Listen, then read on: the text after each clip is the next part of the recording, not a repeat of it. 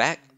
In this video I make a small mod to this exhaust and just straighten out that muffler and then I'll get on to the second mod which is lifting the car.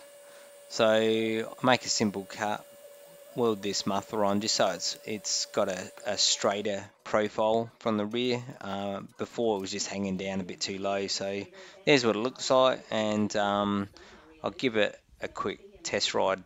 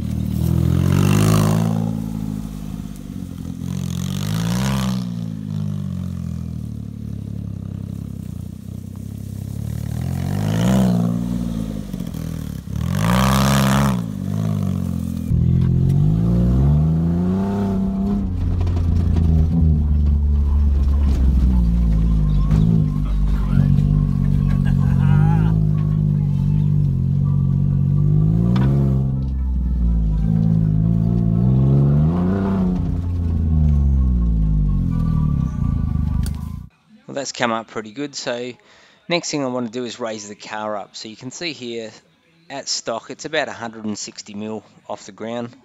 And what I'm going to do is make some spaces up. Now you can buy kits, but they're quite expensive. So I thought I'd just make mine, given that I've got a lathe. So I first jack the car up to where I want it to be, which is just over 50 mils higher. And you can see here it's now sitting from 160 up to 210.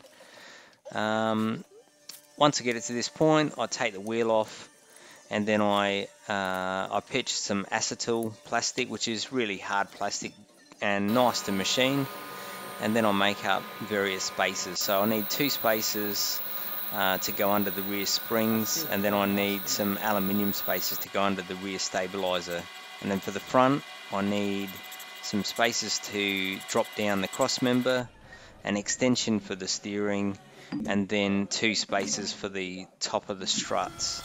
Um, so these are the spaces for the rear and the front, they're all the same, so I make six of these.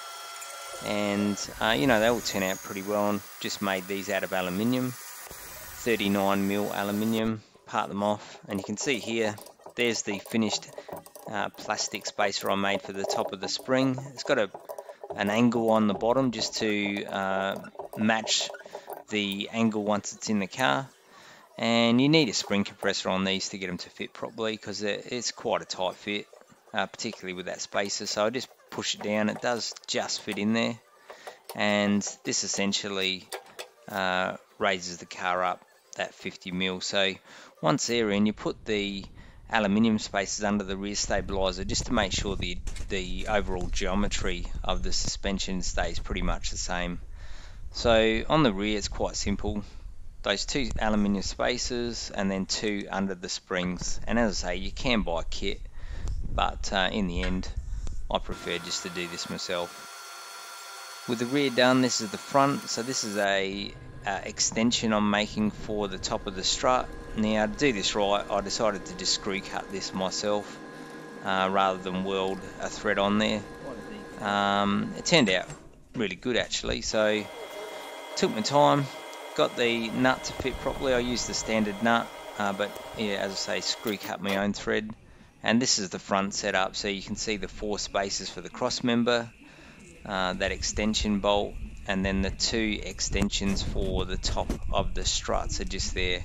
And the last thing I needed to do with the front was make a extension for the steering box, uh, which I'll show you in a moment. So there's the suspension. Once I put that uh, extension bolt on. Just put the plastic um, sleeve which raises at 50 mil. Put that in and then after that this is the steering uh, extension. So I just made this myself just filed the profile that I needed got it in the right spot and um, TIG welded it up. Now you can see the it's a bit hard to see but you can see here this is with the cross member dropped a bit further than what it needs to go but you can see uh, just a bit earlier there where the extension for the steering goes and this is where the four so there's two on each side spaces go with longer bolts.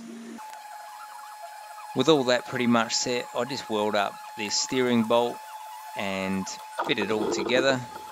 And you know at this point I've done the front and the rear and it's all starting to come together quite nicely. Now when I got this far I thought the disc looked quite rusty and old uh, it's been out in the weather a bit so I decided to take this off and give them a quick skim in the lathe and it didn't take much uh, but I, I don't think they'd been machined for a very long time and uh, for what I want to use this for this is going to be fine so light cut on both sides, cleans it up, and uh, that's as good as new. So just put it back on. And in the next video, I will get the wheels back together and go for the first test ride to see how it goes uh, with it raised about 50 mil. Stay tuned.